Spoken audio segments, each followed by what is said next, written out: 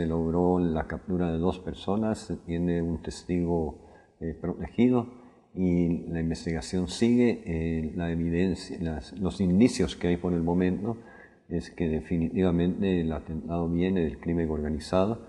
Eh, por lo menos hay otro país centroamericano, hay involucrados en otro país centroamericano que está en el proceso de investigación y se confirmó plenamente que el atentado no era contra Facundo Cabral, sino lamentablemente era, era para este señor Fariñas, que eh, aún no, no, se le ha podido interrogar para que eh, nos pueda dar más elementos de juicio y más eh, líneas de, de, investigación. Nuestra voluntad total es de llegar hasta los autores intelectuales. está preso el que fue contratado para contratar sicarios, está preso un sicario y estamos detrás de otros dos que, que van a caer tarde o temprano. Yo quisiera valorar muchísimo eh, la actitud del pueblo y gobierno argentino, que pueden tener la certeza de que el gobierno de Guatemala va a hacer todos los esfuerzos para que este crimen no quede en, ningún componente en la impunidad. La región centroamericana está sufriendo eh, una agresión muy fuerte de parte del crimen organizado. Son más de 1.060 embarques de cocaína que entran en las costas centroamericanas eh, ciento y pico de vuelos eh, de narcoavionetas y estamos con una presión muy fuerte del crimen organizado. Recientemente eh, tuvimos la conferencia internacional eh, para apoyar la estrategia contra el crimen organizado de Centroamérica, fue un éxito, hubo 110 delegaciones, 60 países participaron en ella y estamos en un esfuerzo centroamericano por combatir este flagelo que tenemos por el tránsito de la droga que viene del sur para el norte.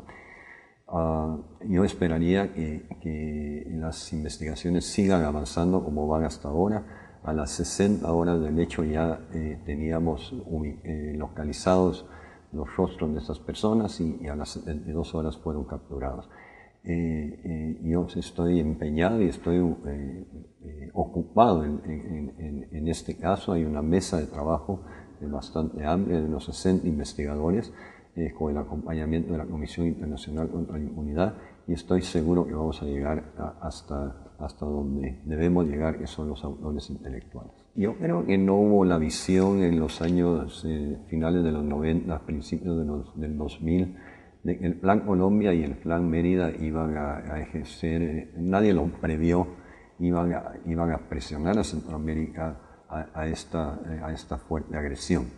En el caso particular de Guatemala, eh, yo te podría compartir que hemos dado avances contra el, contra el narcotráfico. Hemos recuperado eh, más de 126 mil hectáreas de, de, la biosfera maya que se habían apropiado ilegalmente estos narcotraficantes. Sacamos 40 mil cabezas de ganado de ahí. Hemos, recuperamos toda una carretera de la franja transversal del norte de 356 kilómetros donde yo encontré 29 soldados y alrededor de 70 policías y ahora hay 1.200 soldados y hay más de 600 policías. ahí ya no aterrizan avionetas y, las, eh, y los narcos ya no se pueden movilizar como se movilizaban antes. Hemos incautado al narco 11 mil millones de dólares en mi gestión de tres años y medio y en los ocho años anteriores a mi gestión se incautaron únicamente 1.100 millones. Es exactamente 10 veces la incautación en tres años que lo que se hizo en ocho. Eh, esta incautación es tan importante como la captura de los capos, que tenemos a cuatro de los más buscados por, históricamente en el país en la cárcel, y tenemos a otros dos, uno que fue capturado en Belice y otro en, Honduras por apoyo entre las inteligencias de nuestros países. Eh, pero el, Estado de Guatemala, al igual que nuestros, nuestros hermanos eh, centroamericanos, tenemos un límite de capacidad y esa la tenemos que repotenciar, repotenciar con acciones regionales. Eh, mesas de inteligencia conjuntas, mesas de, estrategia conjunta, operaciones conjuntas eh, y eso ya va en un proceso muy bueno y creo que se va a lograr en el corto plazo. Yo creo que un gran resultado de la conferencia internacional de hace tres semanas es que los ocho países nos pusimos de acuerdo en una estrategia, en programas regionales y proyectos regionales. Eh, eh, y a eso se tiene que sumar lo que unilateralmente hace cada país. Tenemos diferencias entre nuestros países. Hay países que tienen más fuerte su sistema de justicia, otros tenemos más fuerte nuestro ejército nacional, por ejemplo, otros, pero creo que eh, estamos, la región va a tender a homogenizar no solo nuestras capacidades institucionales, sino también nuestras metodologías y, eh, y, sobre todo el sistema legal donde sí hay diferencias importantes entre nuestros países y que tenemos que tomar las leyes más oportunas y más eh, eficaces en la lucha contra el narcotráfico. Creo que hay, una hay un nivel muy alto de conciencia de que el narcotráfico solo lo paramos unidos eh, si lo queremos disminuir en el área. Y hay otro condicionamiento para disminuir el, el efecto violento del narcotráfico es que los países y los mercados de consumo hagan su trabajo en términos de reducir el consumo, control de armas, control de químicos, precursores fundamentalmente, y el control de lavado de dinero.